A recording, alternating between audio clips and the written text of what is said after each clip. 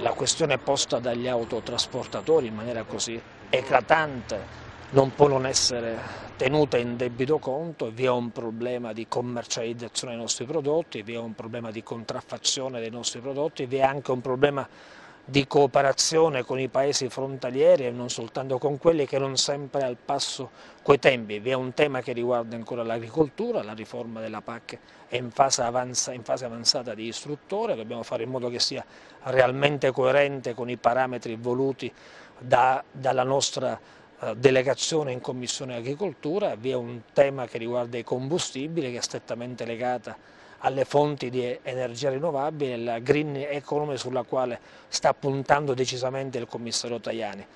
Un'azione che deve essere coordinata con delle proposte serie, in questa direzione la delegazione italiana ha